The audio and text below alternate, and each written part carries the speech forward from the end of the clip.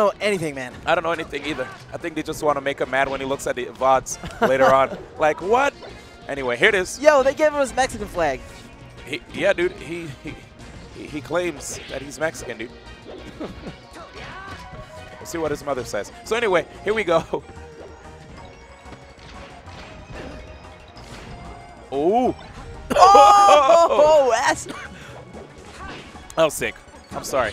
I don't want to say typical SFAT, but that was a typical SFAT That was very, very, very good. Moon coming back, though. Again.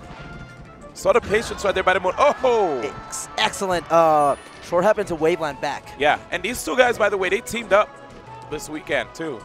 You know, SFAT and the Moon. The team kill. Yep. Oh, nice.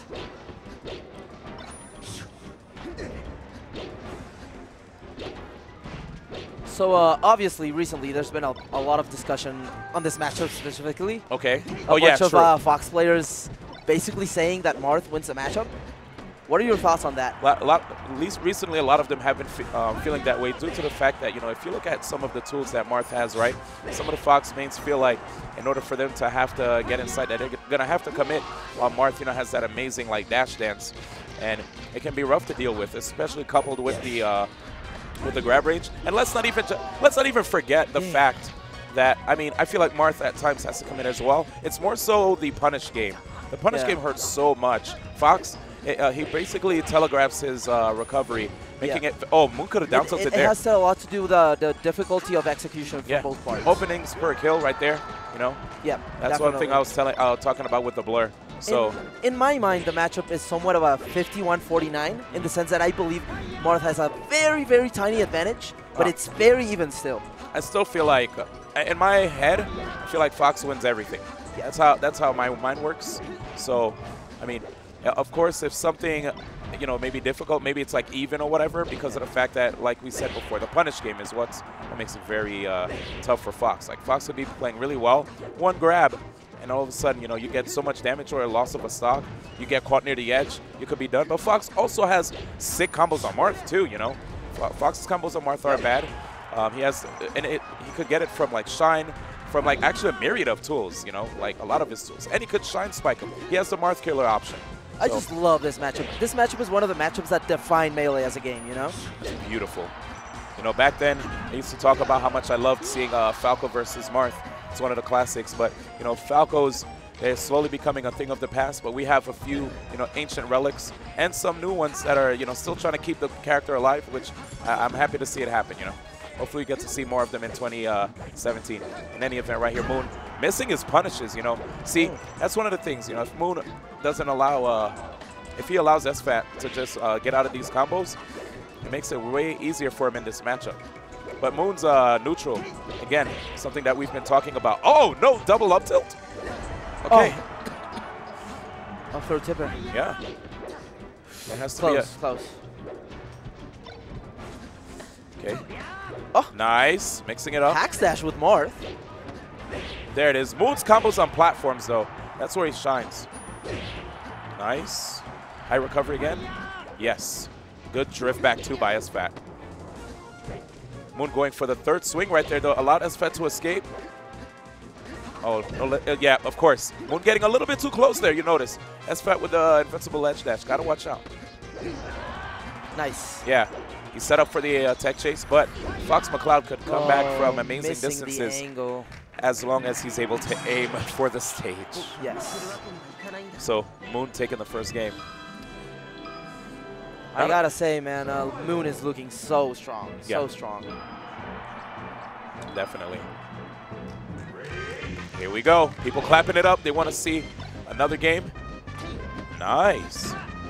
Oh, okay. I like that by SFAT. Noticing that Moon wasn't going to be able to get enough time to get a regrab, so challenge the dash in with the up smash.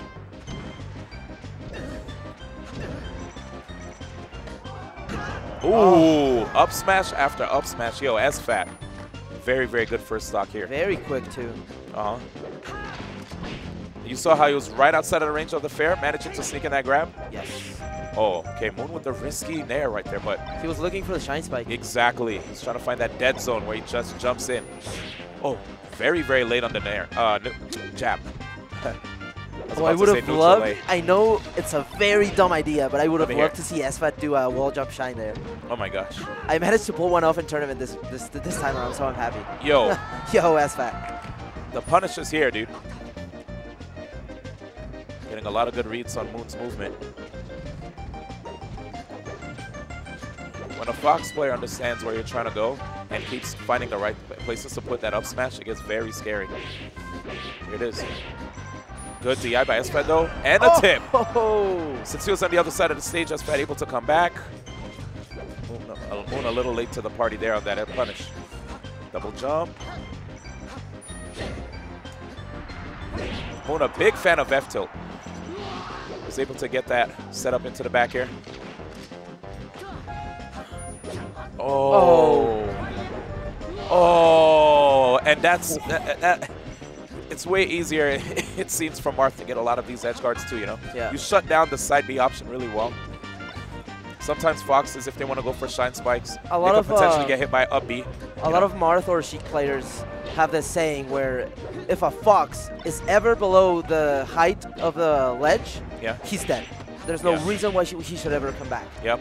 Right there, Moon ending the combo early, allowing SFAT to uh, basically zip back on stage. Oh, SFAT. Oh. I like the, the idea, but uh, a little bit of a flub in the execution Yeah. there. Right now, SFAT trying to catch Moon's landings. Good interruptions on the. Uh, Nice. there it is. Catching the shine right there as Moon, you know, basically swung a little bit too close to the edge. That's what he needs. Confidence is in his um, edge guards. He just needs to go out there and look for him. Oh boy. Oh, Oh, my boy. God. Like I told you, man, you give this man a platform and he'll put on a show. Fourth throw? Yes. Good. Oh, Setup, oh. but Moon with the. Oh my goodness, he was able to just Do you stay think alive. if he just did the single jab, that might have worked? Double jab actually really helps in that situation. It's just that if you check out Moon's DI, he did the right thing. Moon was doing a lot of waiting right now on SFAT, and SFAT trying to beat him to the punch and just attacking Oh. first, which worked out super well here.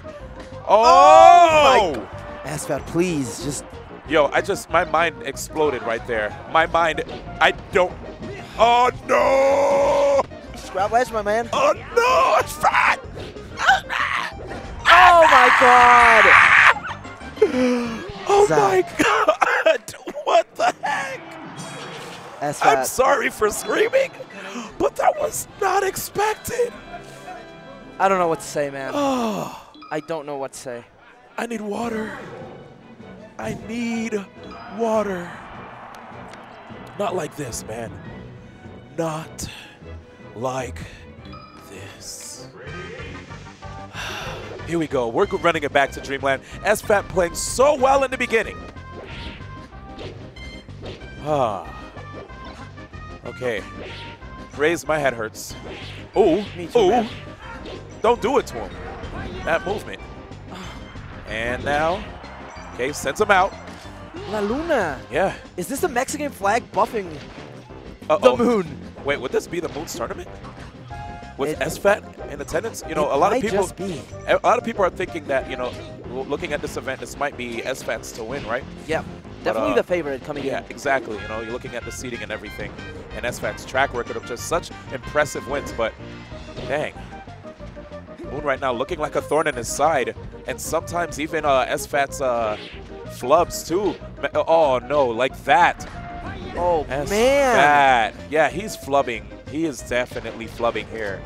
A little bit of sloppiness from SFAT, allowing Moon And to You would think this is one of the matchups he would probably feel really comfortable in. We've in, right? seen him do well against people like Mewtwo King. Yeah. But props to Moon though, he's doing well at here. Definitely. Definitely.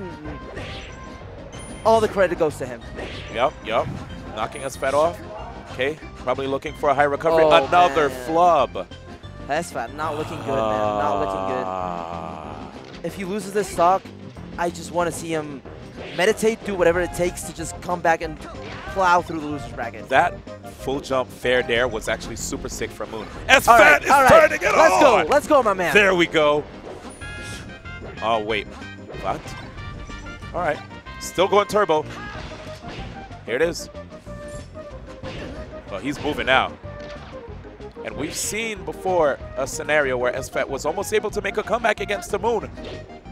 And Ngamo. Oh, Oh, Moon with the W putting himself in the grand finals. Winner's side against SFAT. What was that, a 3-0? 3 0. 3-0? Very quick 3 0.